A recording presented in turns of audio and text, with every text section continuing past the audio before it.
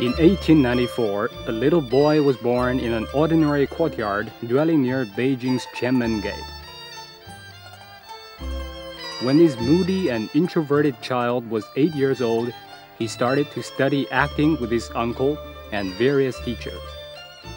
He made his stage debut at the age of 11, and by the time he was 20, there wasn't a single theater goer in China who did not know his name. Over the next 40 years, this person revolutionized every aspect of China's dramatic tradition, from acting, music, and dance to makeup and costumes, with his portrayals of Chinese women from all walks of life. The memorable characters he created included imperial concubines, impoverished daughters of the people, celestial goddesses, and heroic women generals. He made numerous trips around the world, captivating audiences in Japan, America, and Russia with his exquisite performance and original technique, and received an honorary doctorate from Pomona College in the United States. The school of acting that he originated and developed was hailed as a merging of the three great stage methods of Stanislavski, Brecht, and traditional Chinese drama.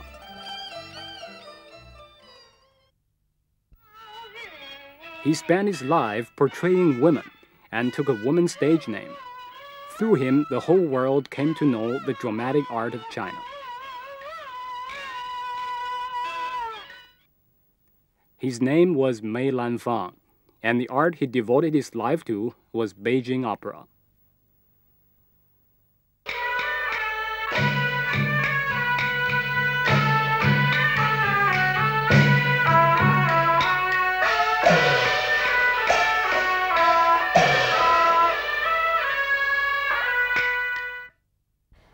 Hello, my name is Ursula Feichtinger.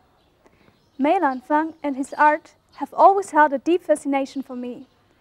It was this interest that inspired me to study Beijing opera.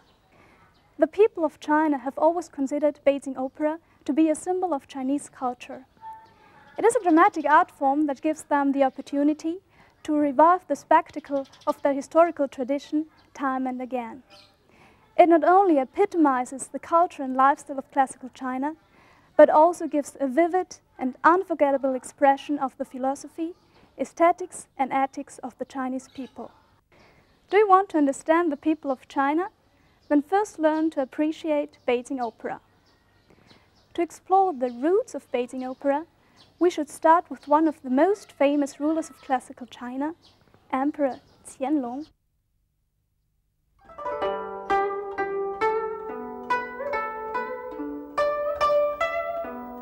This is the Forbidden City, home to China's emperors.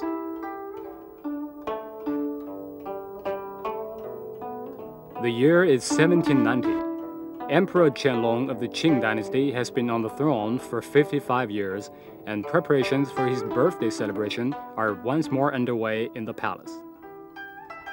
As part of the festivities, a number of officials from southern China have arranged to bring their local theater troupes to Beijing to perform for the emperor. The 80-year-old sovereign is delighted with the production, and a number of the companies take advantage of his favor to settle in Beijing. What follows is an extended, freewheeling artistic exchange among performers from all over China. Through a process of joint experimentation and give and take, a new art form gradually evolves in the theaters of Beijing, beloved of all from the emperor to the common people, what we know today as Beijing opera.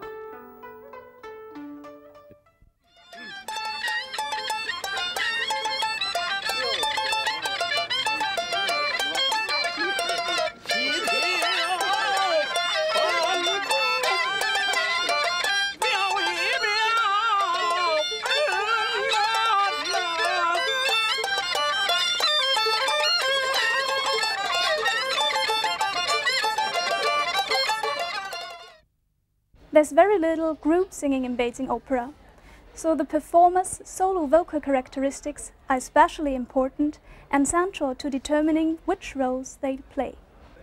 Depending on their voices, men can play women and women can play men. Makeup and costuming make sure that they look the part. Can you tell this is me? This is me too. It's still me. Who do you think this is? That's right, it's still me. The four types of makeup that I just showed you represent the four principal roles of Beijing Opera. Each role has a standard gender, personality, age, and social status. When Beijing Opera characters come on stage, the audience can immediately tell from their makeup which role they are playing. The four types of Beijing Opera characters are Sheng, the male roles, Dan, the female roles, Jing, the painted face characters, and Chou, clowns. Sheng, the male roles include old man, young man, and martial man. Old men known as Lao Sheng are serious and dignified models of integrity and fortitude. All of the male roles use false whiskers, the color of which indicates the character's age. Black whiskers signify a man in the prime of life. This white whiskered old gent has probably already passed his 60th birthday.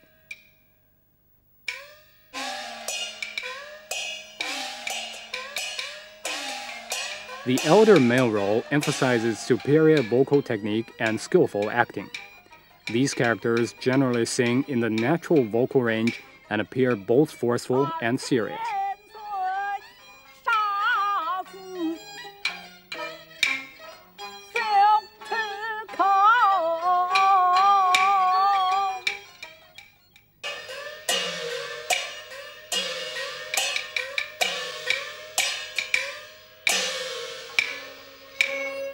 Another type of male role is the xiaosheng or young man. These characters combine the natural and falsetto ranges to create bright and vibrant vocals and express their dashing and sophisticated personalities through proficient acting.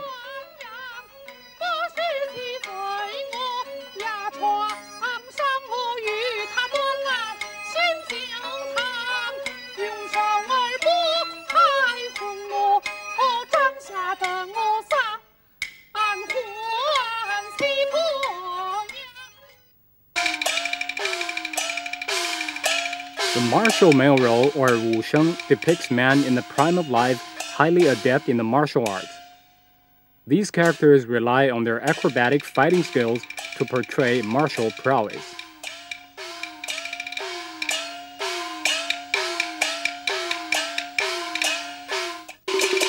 The martial male role does not emphasize singing, but rather requires skillful execution of difficult fighting techniques.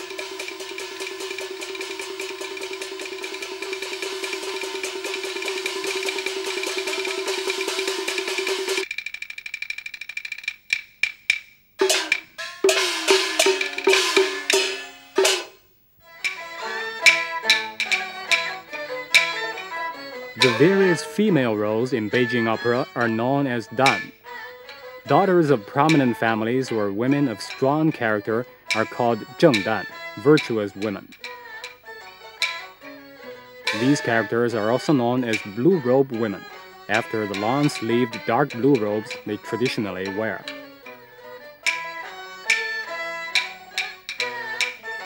The virtuous woman role emphasizes vocal performance characterized by beautiful, melodic arias and a reserved and elegant acting style. China's most famous master of Beijing opera, Mei Lanfang, gained his worldwide reputation with his portrayals of virtuous woman characters.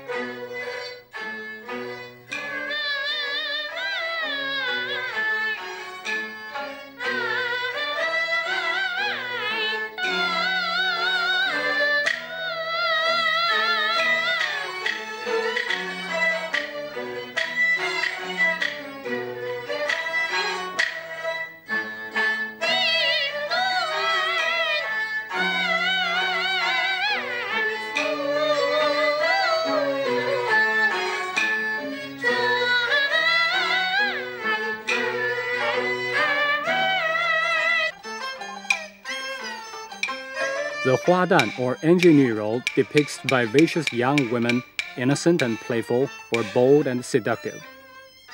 These characters are often servants or daughters of common families.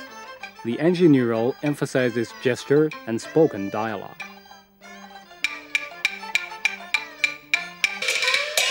The Laodan role portrays elder women. These characters often employ a slow, stylized gait with the toes pointing outward to indicate old age. The elder woman role emphasizes singing and exploits the natural vocal range.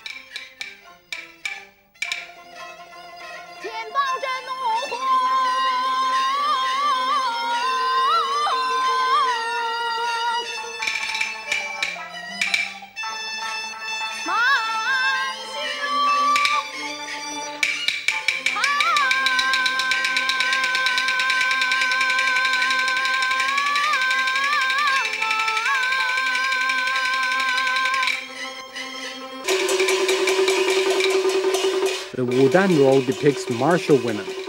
These women knights are also known as Dao Ma Dan, or horse and sword women. Like the male martial characters, martial women emphasize a high level of acrobatic fighting skill and wear the military costume called kao.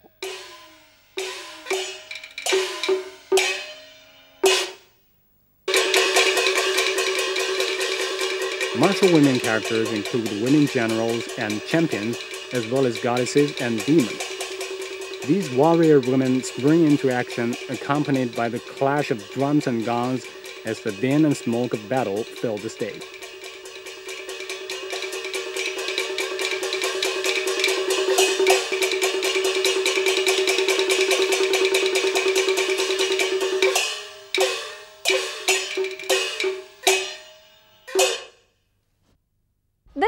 Is required reading for students of Beijing Opera.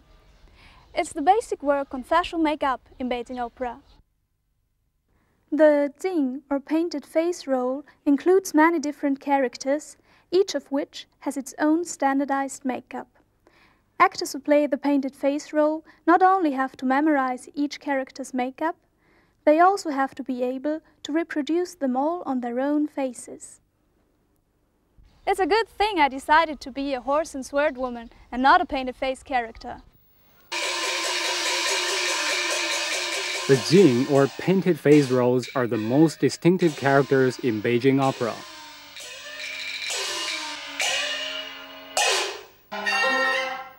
The painted face role depicts rugged, heroic men, both handsome and charismatic, such as generals, celestial beings, or high ranking officials. These characters use the natural vocal range and a simple, forceful singing style.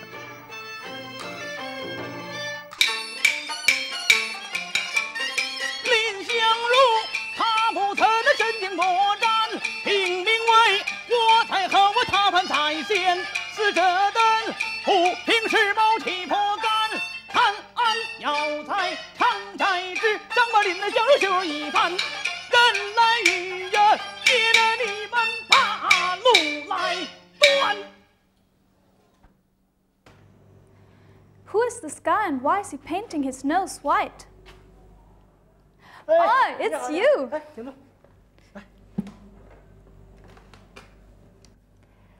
Don't be fooled by his makeup. He isn't a painted face character, he's a clown. There is some similarity in the makeup of these two characters, but their acting style is completely different.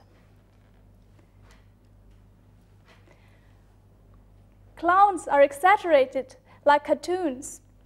They are the buffoons and comedians of Beijing opera.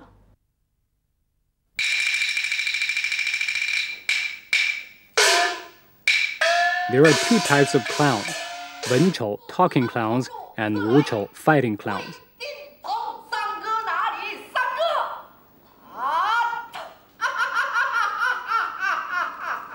Fighting clowns portray characters with razor sharp wit and outstanding acrobatic fighting skills, such as Lu Lin, the hero of the Greenwood, and Xia Dao, the noble robber.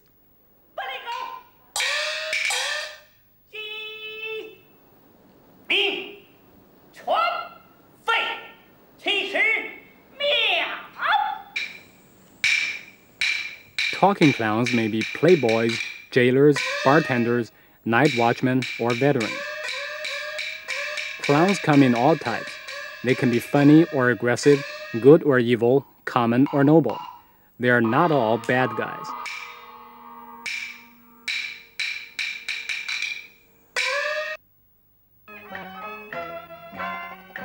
The four primary roles of Beijing opera, male and female characters, painted faces, and clowns, have evolved over more than a hundred years. More than any other type of theater, Beijing opera standardizes its character types and externalizes their inner natures. Traditional Chinese landscape painting uses bold lines and expressive brushwork to portray its subjects. Its subtle depths leave ample room for the view's imagination to run free. Beijing opera resembles this type of painting in many ways. Although Beijing opera is derived from real life, it does not apply the standards of realism to the stage. Rather, it fictionalizes and stylizes the actions of real life, transfiguring them to create a more beautiful world. Here you can see how an unfurled orchid is imitated to express the grace and beauty of a woman's hand. This is called the orchid gesture.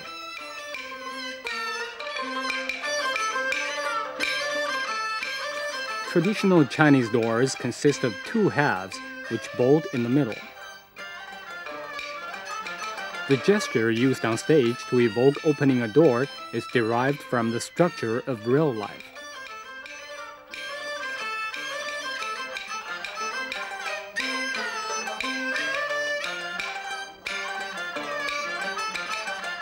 Feeding chickens is one of the daily chores performed by Chinese farm women. This real-life action is transformed and beautified on the Beijing Opera stage.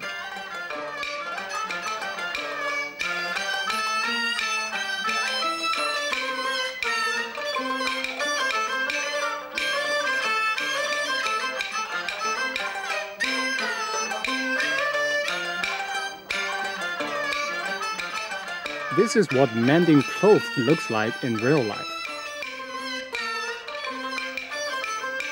Here, the action is stylized into the piercing needle pulling thread of Beijing opera.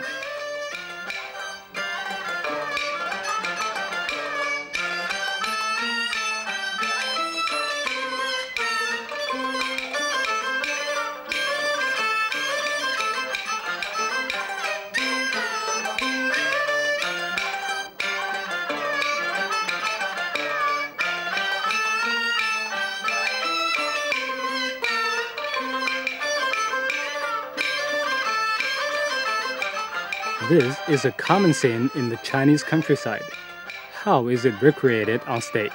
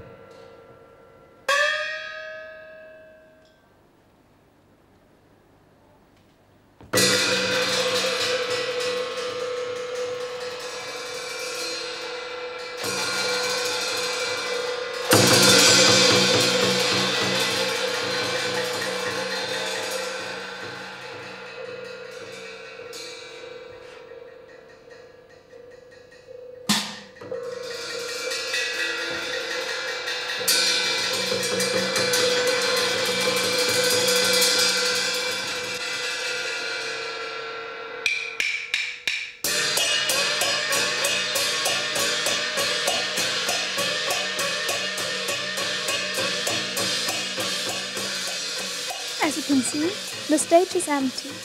Using no more than their explicit gestures, these two actors vividly portray rowing a boat, tying it up, and getting in and out. With only a stick to represent an oar, they convince us of the existence of both water and boat.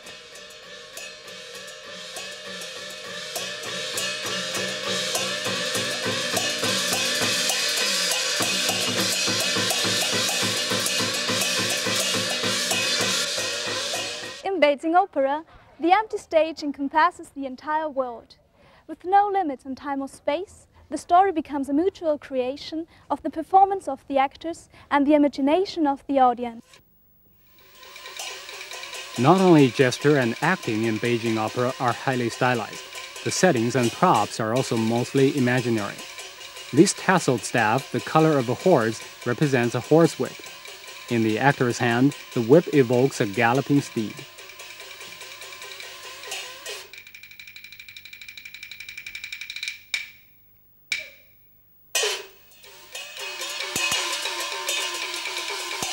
When the actor circles the stage brandishing a whip, we know a long journey is in progress.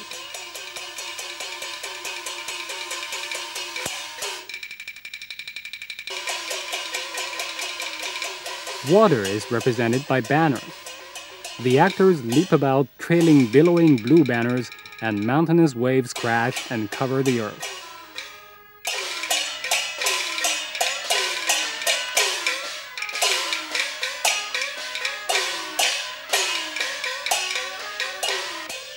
A banner emblazoned with a wheel shows that the character has arrived by wagon.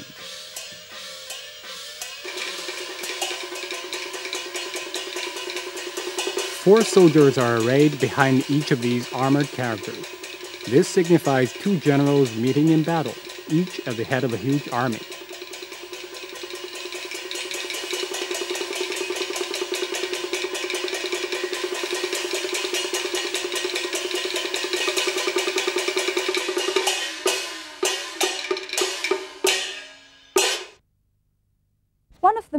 Representative examples of Beijing opera is the fork in the road. At first glance, this play may seem a little like Western Mime. Actually, it's even better. Not only does it tell a story, it transports the audience into the heart of the story's world as well. The plot goes like this. The hero stops for the night at the Crossroads Inn. The innkeeper thinks he's a villain and decides to kick him out in the middle of the night. Let's take a look at this classic midnight fight scene.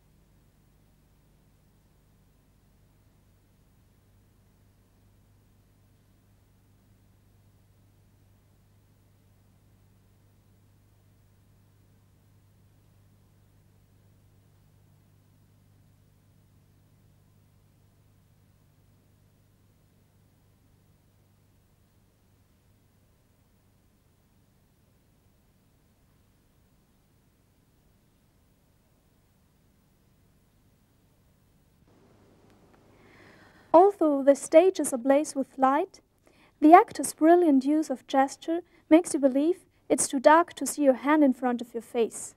This is the magic of Beijing opera.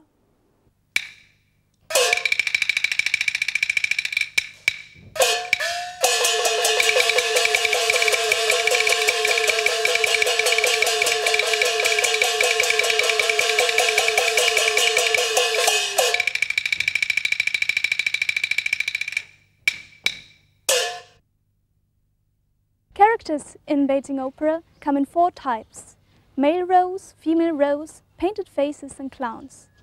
Acting is also divided into four categories singing, spoken parts, gesture, and fighting. We've just seen examples of gesture and fighting. Now let's look at singing and spoken parts. Spoken parts in Beijing opera utilize two styles, verse and Beijing dialect, to differentiate characters' social status and temperament. People from the upper classes generally speak in verse, while commoners use Beijing dialect. Parts spoken in verse have a musical, rhythmic quality like poetry.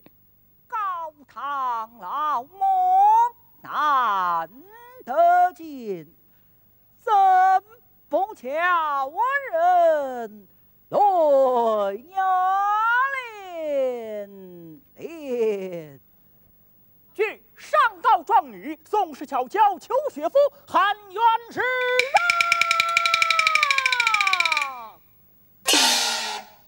炸谢巧娇系 parts spoken in beijing dialect which is derived from everyday speech a much more colloquial Regardless of which style is used, flawless pronunciation and dramatic expressiveness are essential.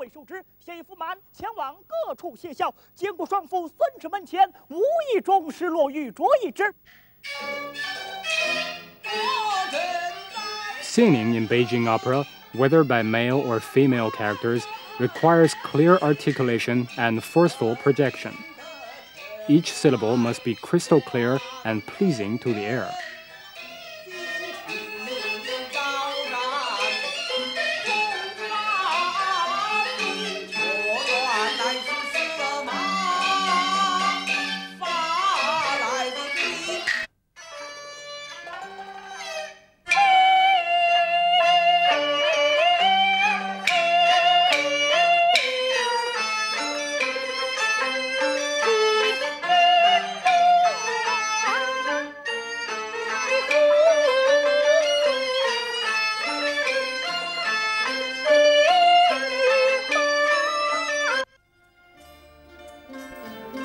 Chinese martial arts and acrobatics have had a major influence on the fighting style used in Beijing opera.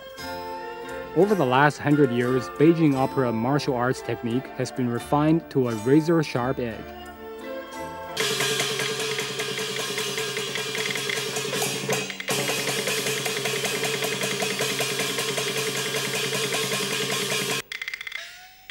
Acrobatic fighting movements are derived from real life. Whooping hawk reproduces the beauty of a hawk in flight. Kicking heaven imitates a kicking golden pheasant.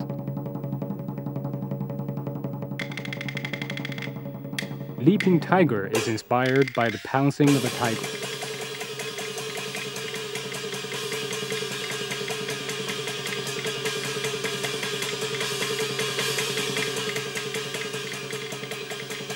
Black dragon coiled around post evokes the writhing of a dragon.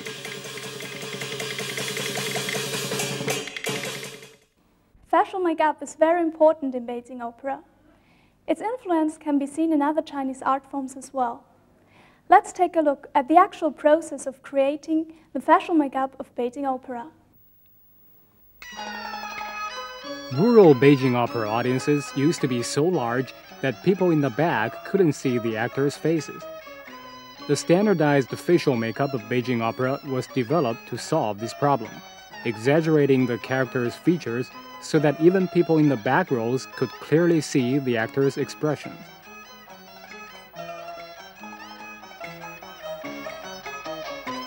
Every Beijing opera role, both male and female, uses wigs as well as facial makeup.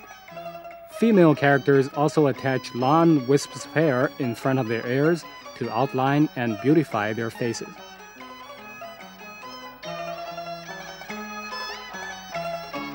The actor's face is like a blank piece of paper.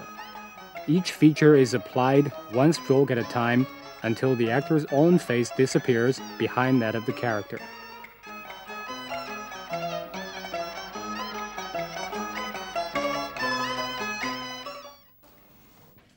Facial makeup follows strict rules. Traditional Chinese ideas about color are particularly important. A clear white complexion Jet black eyes and raven hair and a ruby red mouth represent the fundamental Chinese standard of beauty. Each color has special significance. Red symbolizes loyalty. White indicates duplicity. Black means strict impartiality. Yellow is wisdom. Blue is power and gold indicates celestial beings and ghosts. Makeup emphasizes and exaggerates the eyes, eyebrows, nose, and even the shape of the face. This is so all the people in the back rows can clearly see the faces of the characters. You can tell that this crafty character is up to no good. His white face and narrow eyes reveal that he's always hatching plots. He is Cao Cao, known in Beijing opera as a scheming prime minister who attempts to usurp the throne. This is the famous judge Bao Qingtian. He staunchly upholds the law, placing righteousness above personal loyalty. He's impartial, incorruptible, upright, and outspoken, so his facial makeup is red and black. The crescent moon on his forehead indicates that he is willing to pass through the gates of hell to uncover the truth of a case.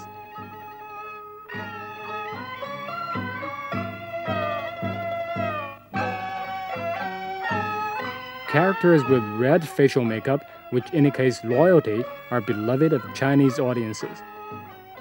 This Chinese general Guan Gong has won many battles and would rather die than surrender to the enemy his name has become synonymous with loyalty.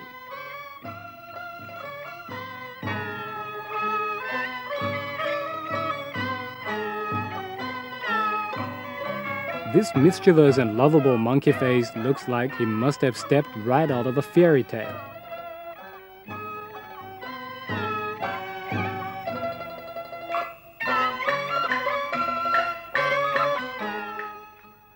Costumes in Beijing Opera like facial makeup, are specially designed for each role, kind of like variable body makeup. Whatever your character is, that's the costume you wear.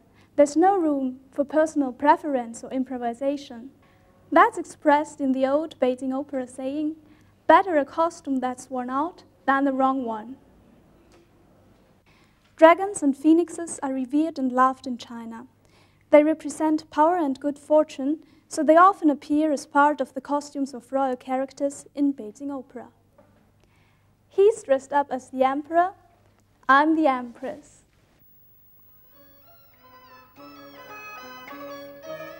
The costumes used in Beijing opera are based on clothes from China's Ming Dynasty. Costumes indicate the nationality, temperament, and social status of each character and follow strict rules concerning design, pattern, material, and color.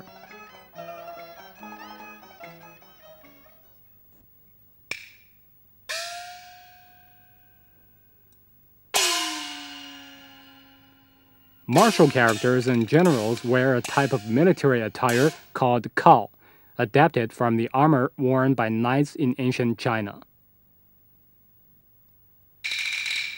Military characters also carry four pennants on their backs, these are based on the tokens of military authority used in ancient China and indicate that these characters are under official orders.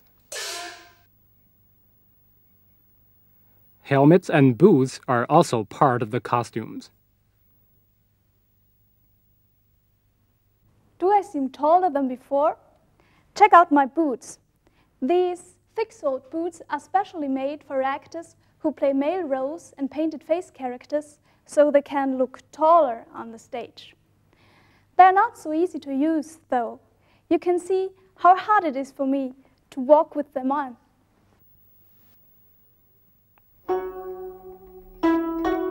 The music of Beijing opera employs two distinctive melodic styles called Erhuang and Xipi to accompany and accent the lyrics being sung.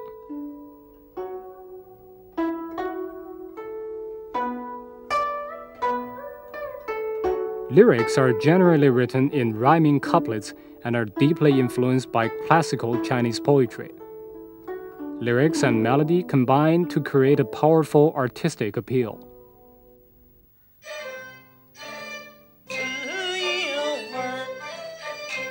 Erhuang style melodies are calm and stately. They are often used to express deep emotion.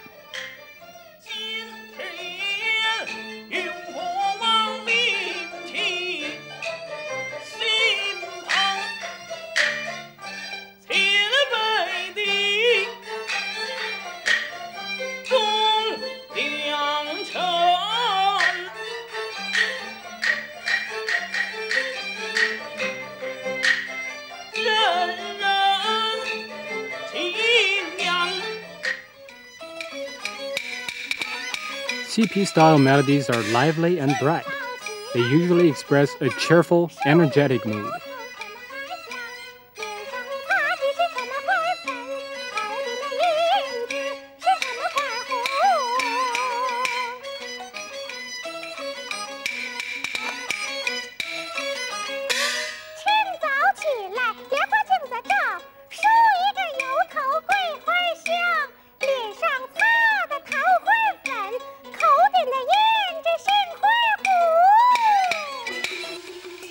Beijing Opera Orchestra consists of a percussion section and a wind and string section which may play separately or together.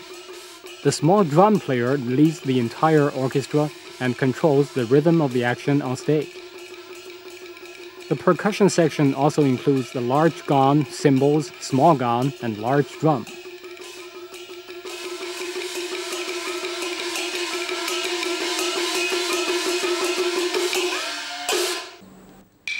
The most important instrument in the wind and string section is the jinghu. This high-pitched fiddle made of bamboo, snakeskin, and horsehair is the soul of the orchestra and its lead instrument. The jinghu player is the actor's closest collaborator, responsible both for carrying the melodic line and complementing the mood on stage. Many famous actors have their own personal jinghu players. The wind and string section also includes the erhu, the yueqin, the sanxian, the ruan, and the pipa, as well as the bamboo flute, the suona, and the sheng.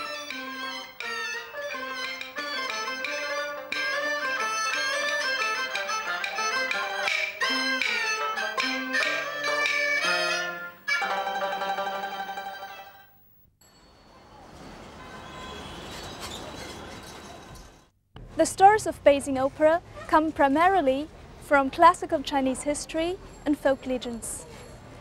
The traditional repertoire includes more than 1,300 librettos. About 300 of these are commonly performed today. According to Chinese aesthetics, by the end of the play, good and evil should receive their just rewards, and everyone should live happily ever after. Even tragedies are expected to have a happy ending. Otherwise, the audience won't be satisfied. That's quite different from the Western theater tradition.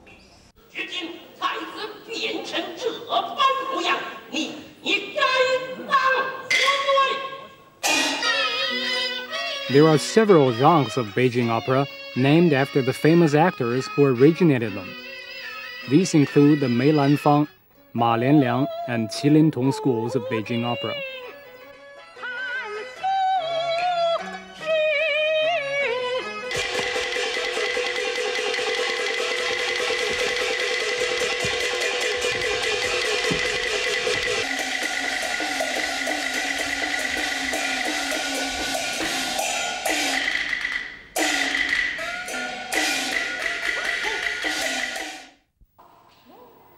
Beijing opera performers generally start training when they are six or seven years old. It will be many years before they have their time in the limelight.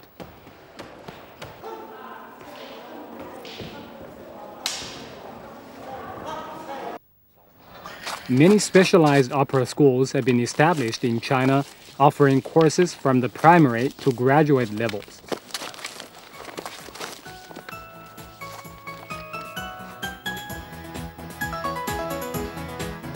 Along with social progress and modernization have come a multitude of new recreational opportunities. Like traditional forms of theater in the West, Beijing opera must find new ways to develop and survive.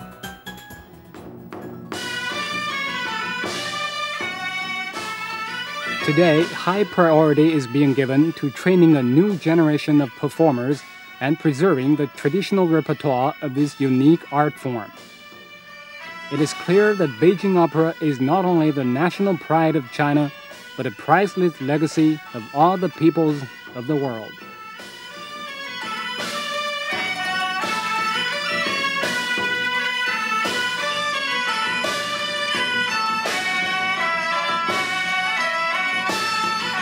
I'm sure that by now you've all become dedicated Beijing opera buffs. So, I'll see you tonight at the theater.